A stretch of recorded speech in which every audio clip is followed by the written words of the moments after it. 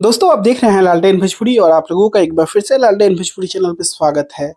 खिसाई लाल यादव का बर्थडे आ रहा है। महज दो सप्ताह रह गए हैं और बर्थडे का सेलिब्रेशन खिसाई लाल यादव के फैंस एक त्यौहार की तरह करने वाले हैं, इस बार मुझे पता है। खिसाई लाल यादव भी इस बार अपने बर्थडे को लेकर बहुत ही ज़्यादा सक्रिय है। वो भी बहुत कुछ गरीबों में वितरण करने वाले हैं। आप लोगों को पता भी होगा अनाउंस भी किए थे, लेकिन कुछ चीज़ें सरप्राइज़ ही रखा जाए तो ज़्यादा बेहतर है।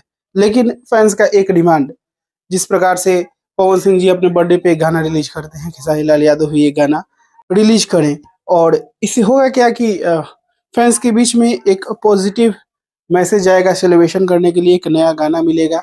और मैं ये नहीं कह रहा हूँ कि पवन सिंह लकीर पे रहेंगे, खेसारी लाल यादव, ऐसा कुछ नहीं है।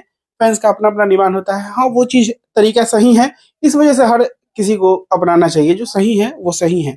क्योंकि एक फैंस को, एक सुपरस्टार की तरफ़ से टोटल फ़ैन को जो जो कि एक जगह नहीं रहते हैं, हर देश में खेसारी लाल यादव के फ़ैन है तो हर किसी को एक नया तोहफा तोहफा मिल जाएगा गाना के रूप में। और इस वजह से मैं कह रहा हूँ कि एक गाना खेसारी लाल यादव का उस दिन आना चाहिए और अच्छे म्यूज़िक कंपनी से आना चाहिए।